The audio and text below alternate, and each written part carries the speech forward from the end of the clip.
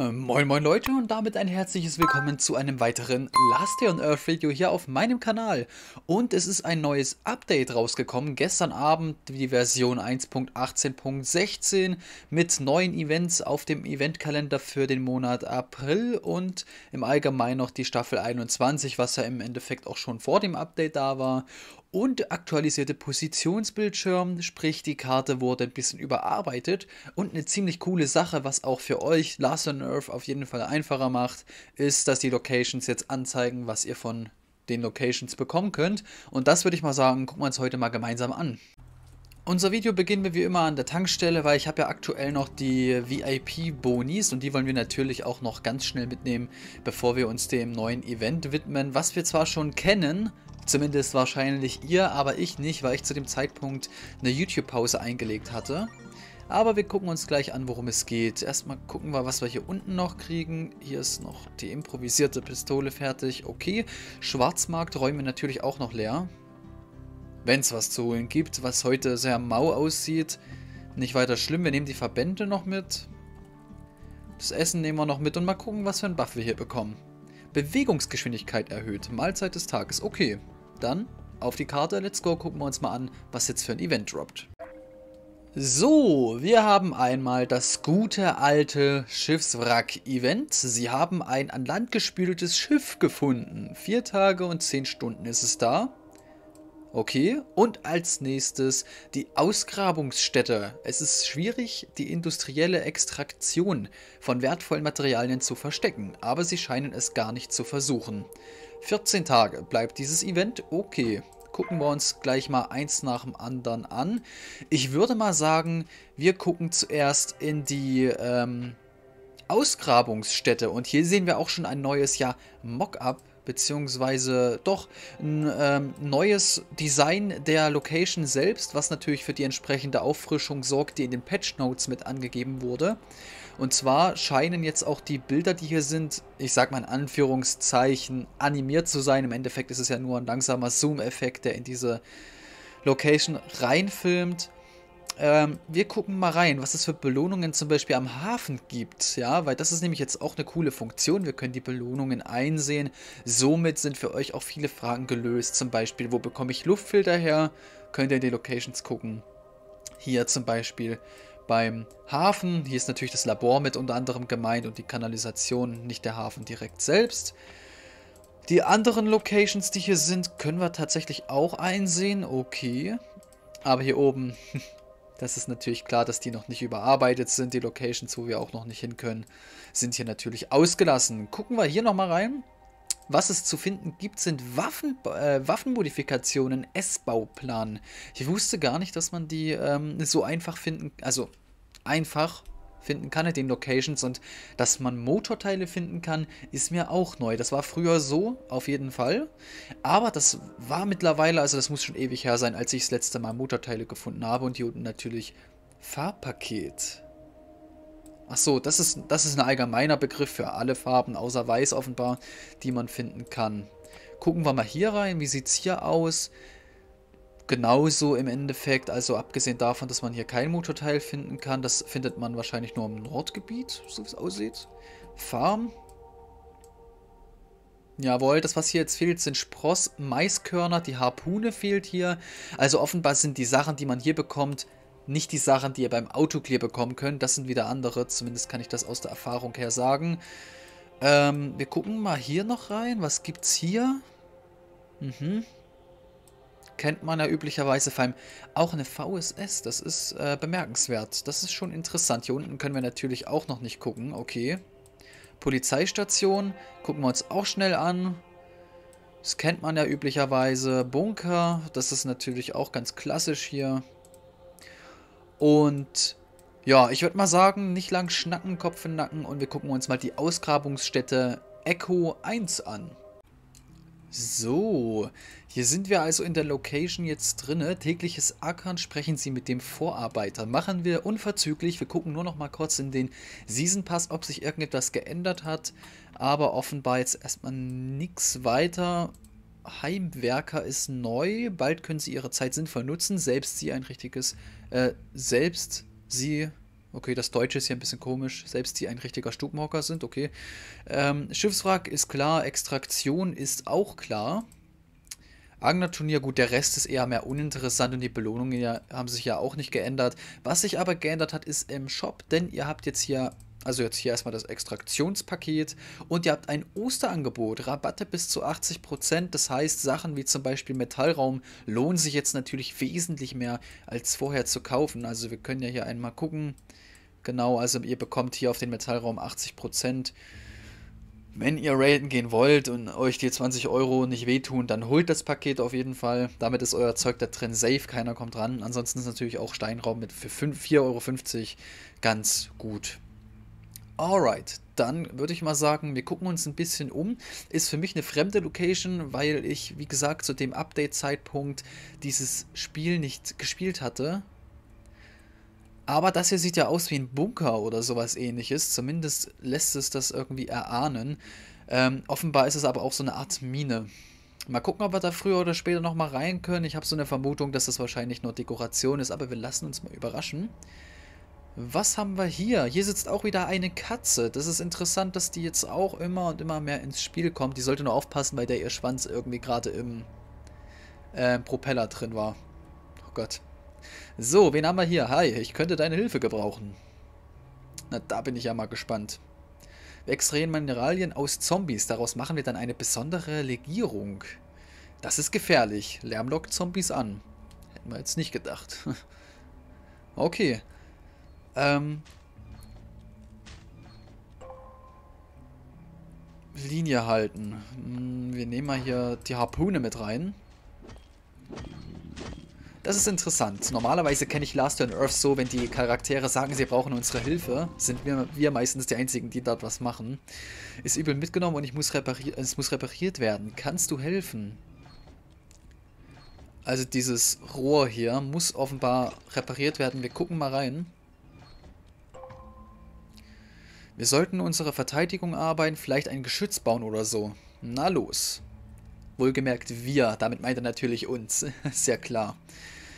Okay, gucken wir uns das ganze Spielchen hier mal an. Hier haben wir auch noch eine. Erhöht das Raffinerie-Level. Oh, und hier ist auch noch eine. Die ist auch kaputt. Oh, noch eine. Die ist auch kaputt. Was haben wir denn hier? Meine Güte, das sieht ja hier richtig hochwertig aus. Was sind das hier? okay. Ähm, gut, so viel dazu. Jetzt müssen wir jetzt mal gucken, wie wir die Geschütze bauen können. Ich glaube, dafür müssen wir hier hoch, ne? Kann das sein? Kommen wir hier schon hoch? Nein. Äh, dann gehen wir erstmal wieder zu unserem Kollegen hier runter. Dort ist alles, was wir für die Fertigung nutzen können. Im Depot befinden sich noch Ressourcen. Versuche aus denen etwas zu bauen. Also, hier haben sie auch ein S vergessen. Oh, okay. Also das sind jetzt die Materialien beziehungsweise die Sachen, die wir bauen können. Was cool ist, ist, dass die Pleuelstange wieder drin ist. War schon mal im Spiel gewesen, ist aber nach der Zeit wieder rausgenommen worden. Jetzt habe ich natürlich keine Ahnung, wie was funktioniert. Wir werden einfach mal hier das Geschütz hinstellen auf die Seite. Und hier vorne Dornen. Zwei Stück oder sogar drei. Packen wir hier noch was hin. Okay, folgen Sie dem Vorarbeiter. Super, das wird die Verteidigung sicher unterstützen. Das ist unsere Raffinerie. Sie ist keinem guten Zustand. Sie kann repariert werden, um die Arbeit zu beschleunigen. Im Moment funktioniert es. Versuch mal, sie zu starten. Okay, dann Ah ja, Start des Extraktors. Schwierigkeitsgrad auswählen. Okay, wir können hier Schwierigkeitsgrad auswählen. Einfach, dann normal sicherlich und schwer. Einfach, maximale Gesundheit von Zombies ist erhöht. Das ist halt der Effekt, den die Zombies haben. Und bei dem anderen können wir noch nicht reingucken. Wir bekommen Season-Punkte und so einen Totenkopf. Ich würde mal sagen, wir starten das ganze Spielchen hier einmal. Und werden mal schnell was essen. Und mal gucken, wann die ersten angerannt kommen. Oh, da kommen sie schon. Da müssen wir natürlich ein bisschen mitmischen hier. Ja, aber das ist schon anders. Interessant, aber die äh, Raffinerie hier unten, die funktioniert. Also die Pumpe, die hier ist. Aber das ist schon ein bisschen übertrieben, dass schnelle Beißer 240 Leben haben, oder wie viel das jetzt war. Na, das ist schon ordentlich. Wir müssen natürlich gucken, dass unsere äh, Pumpe hier nicht weiter beschädigt wird. Ich meine, unsere Dornfallen sind jetzt alle kaputt. Super. Keine Sorge, wir arbeiten jeden Tag so viel. Du wirst dich nicht daran gewöhnen. Du wirst dich noch daran gewöhnen. Gut gemacht, das reicht aber noch nicht. Nicht? Wir brauchen selten Teile, um die Raffinerie zu reparieren. Bringen wir die benötigten Materialien im Austausch gegen Teile. Okay. Okay, die Frage ist, die Sachen hier unten, die können wir noch nicht benutzen. Sogar ein Signalverstärker, also wieder mit dem Spiel. Mensch, welcome back. Okay. Ah ja, also jetzt können wir hier auch nochmal, aber das bringt uns nicht viel, weil wir nicht ins... Ach so, wir gehen mal ins Baumenü. Wir brauchen... Woher kriegen wir denn die Pleuelstangen? Die kriegen wir von der Raffinerie, ne? Und die Raffinerie hat jetzt... Irgendwo hier müssen wir doch... Ah, die können wir auch ausbauen. Genau. Okay, okay, okay, okay, okay. Langsam verstehe ich es. Echo 1 Depot. Und hier kommen wir auch zum Bauplan. Das heißt, wir können ja im Prinzip jetzt nur das hier vorne bauen, also diese Dornfallen. Ach, wir haben auch ein Baulimit, okay. Weil die anderen Sachen, der Freund zum Beispiel, den können wir auch nicht bauen, weil wir haben weder die Pleudestangen noch diese Kette, die man da braucht. Und die, die bekommen wir auch nur, wenn die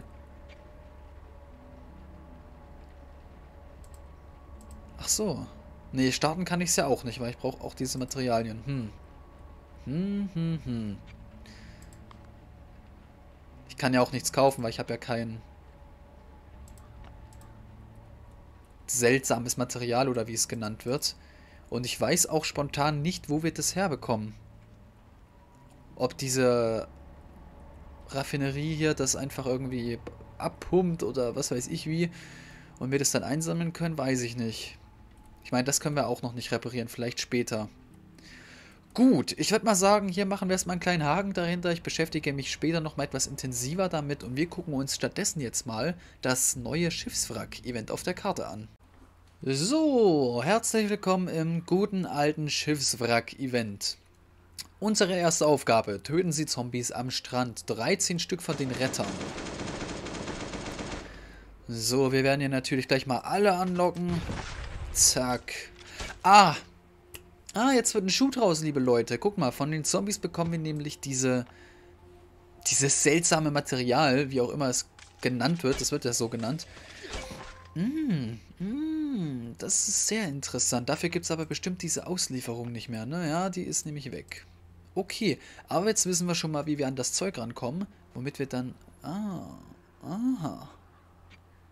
So, in dem Container finden Sie ein normales Objekt und einige seltene, wenn Sie Glück haben. Na, da bin ich ja mal gespannt. Würde ich mal sagen, wir öffnen mal eine Kiste und bekommen gleich eine Uzi. Mensch. Drei Container für 75 Coins. Oh, das wird sich natürlich erstmal gegönnt hier. Ich meine, gut, die Kupferbachen sind jetzt vielleicht nicht so, aber diese 10 ähm, Eichenbretter sind schon ganz interessant. Und auch diese 10 ähm, na, ihr wisst schon, diese 10 Medaillen, ich vergesse das immer, wie die heißen. Abzeichen für herausragende Leistung, genau, die kann man dann ja im Endeffekt auch wieder für ein Paket einlösen. Also das ist ja hier wie ein... Oh, aber wir bekommen noch einmal die AK. Ich würde mal sagen, drei machen wir noch. Ja, dass wir nicht zu viel Zeit verbringen. Und gucken mal weiter. Okay, und nochmal 10 Abzeichen. Gut. Also das Schiffswrack-Event auch eine Art täglicher Boni, nehme ich an. Wie oft bekommt man hier? Hm, das muss ich ja auch aktualisieren. Bestimmt alle 12 oder 24 Stunden. Alles darunter wäre schon irgendwie strange. Aber die Location an sich ist dann ja doch sehr schlicht und einfach gehalten. Okay, okay, okay, okay. So viel zum Schiffswrack-Event. Also hier auch nochmal eine Kleinigkeit, die wir hier bekommen können. Gut. Dann würde ich mal sagen, gucken wir hier nochmal kurz in den Season Pass rein, dass wir hier die Belohnungen nochmal ausräumen. Hier nehmen wir die Schrotflinte auf jeden Fall. Hier nehmen wir doch die Segelblattkeule. Schaufel ist ganz, äh, ganz praktisch für unterwegs, weil ihr dann die Schaufel benutzen könnt für Torf zum Beispiel. oder für die Setzlinge. Meine Schaufel hat man in der Regel nicht immer mit. Deswegen ähm, habe ich mich aber trotzdem mal lieber für die Sägeblattkeule entschieden. Die brauchen wir, denke ich mal, eher. So, ich würde mal sagen, wir wechseln mal ganz kurz den Account. Und jetzt mache ich mal eine ganz schnelle Zwischenmeldung. Und zwar habt ihr die Chance, 1000 Münzen zu gewinnen und den Season Pass Premium. Alles, was ihr dafür tun müsst, ist einen Kommentar unter diesem Video schreiben und den Kanal abonnieren und schon nehmt ihr teil. Ich mache daraus extra keine große Sache, weil viele auf das Video nur klicken, um an Giveaway teilzunehmen. Deswegen für alle, die bis jetzt dran waren, die haben natürlich jetzt einen kleinen Vorteil. Also ein Kommentar und dann äh, seid ihr quasi schon im Gewinnspiel drin. Es nützt nichts, wenn ihr mehrere Kommentare da lasst, weil das im Prinzip nicht gewertet wird, weil doppelte Kommentare werden rausgefiltert. Und ja, die Auflösung gibt es dann eigentlich ganz schlicht und einfach im nächsten Video, würde ich mal sagen. So, und ich denke, auch hier sind wir jetzt erstmal grob fertig. Haben wir hier noch irgendwelche Pakete zu öffnen? Ja, tatsächlich, 60 Stück können wir hier noch öffnen. Das wollen wir natürlich auch noch machen. Ich glaube, hier nehmen wir die Glasfaser. Ich glaube, die könnten wir ein bisschen eher mal gebrauchen auf dem Account. Ähm, weiße Farbe, doch, nehmen wir, denke ich mal, als erstes. Ähm, und dann gucken wir mal. Uh, hier haben wir auf jeden Fall die Wahl vom Chopper-Modell genommen. Zweimal Luftfilter.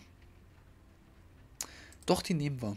Die Luftfilter nehmen wir. Das wird in der Zukunft, ich werde es danken, dass ich sie jetzt genommen habe. Hier nehmen wir die Glock, ganz klar.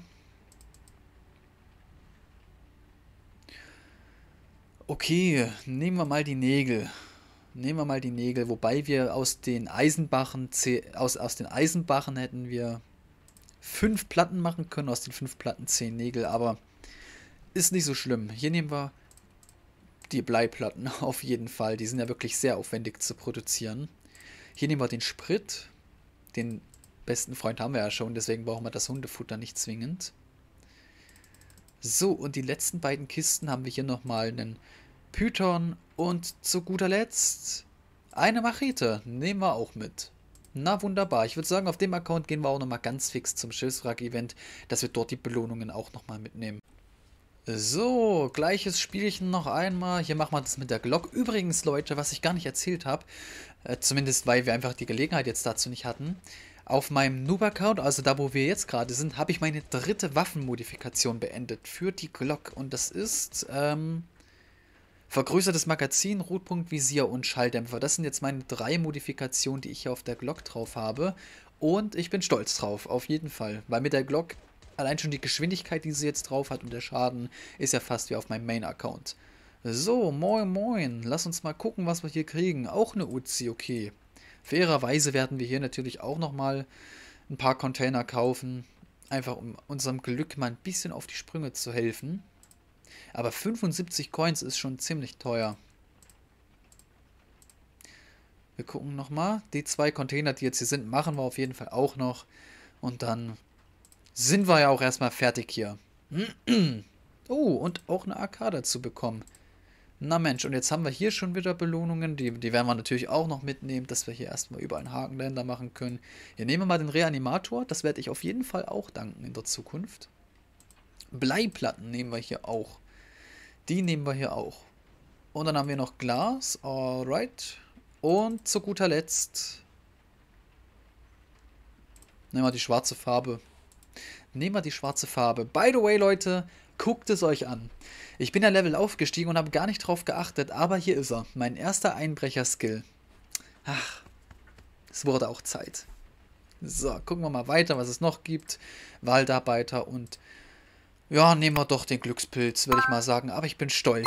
Immerhin Einbrecher-Skill Level 1. Wir kommen jetzt immerhin schon mal in diese kleinen Schlösser rein. Okay. Gut, an der Stelle bedanke ich mich fürs Zusehen. Bleibt auf jeden Fall gespannt. Es wird sicher noch ein Video zu dieser Staffel kommen. Und vor allem wegen den Gewinnern, die wir dann ziehen. Ähm, jedem viel Glück und ich würde sagen, bis zum nächsten Video, Freunde. Ciao.